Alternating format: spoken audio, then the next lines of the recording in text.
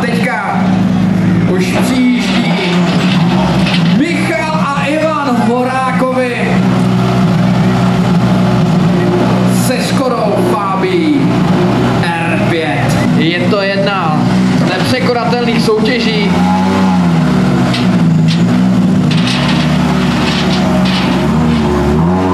Takže posádka